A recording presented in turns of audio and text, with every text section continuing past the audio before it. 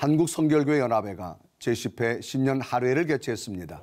문정민 예수에 대한 성결교회 총회장은 설교 말씀을 통해 변화된 사람만이 변화된 역사를 펼쳐나갈 수 있다면서 거룩한 심령과 거룩한 공동체를 이뤄가는 성결교단을 만들어 나가자고 선포했습니다.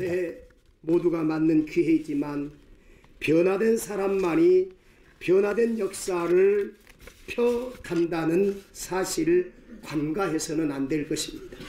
성결은 외친다고 이루어지는 것이 아니라 거룩한 심령과 거룩한 공동체가 될 때 세상 가운데서 성결의 역사를 이루어가게 될 줄로 믿습니다.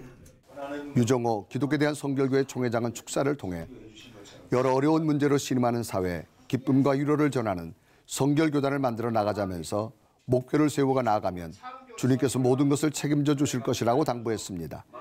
한국성결교회 연합회는 기독교에 대한 성결교회와 예수에 대한 성결교회, 대한기독교 나세라 성결교회가 상호 교류와 협력을 위해 지난 2011년 결성한 연합단체입니다.